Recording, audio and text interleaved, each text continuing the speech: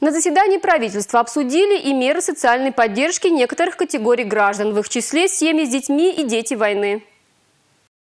С октября 2021 года жители республики, имеющие статус «Дети войны», смогут получать новую денежную компенсацию. Возмещение 25% расходов на оплату жилищно-коммунальных услуг и оплату жилых помещений. Выплата будет ежеквартальной, но если граждане этой категории уже получают компенсацию в соответствии с другими законодательными актами, то они должны выбрать только одну меру социальной поддержки. В республике проживает более 60 тысяч детей войны, 95% из них уже пользуются различными различными льготами.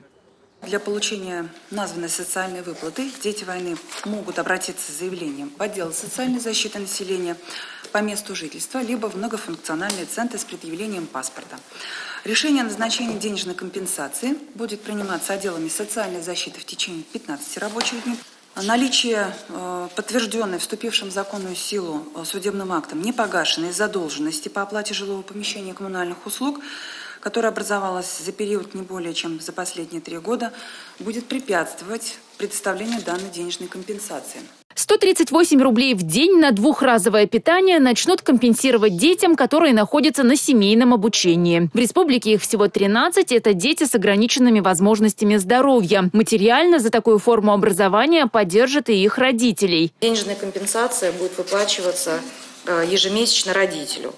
Также порядок предусматривает предоставление компенсации затрат уже за начальное общее, основное общее и среднее общее образование в форме семейного образования. То есть 80% от норматива будет получать родитель, 20% за аттестацию будет получать школа. Э, выплаты это будет проходить один раз в год.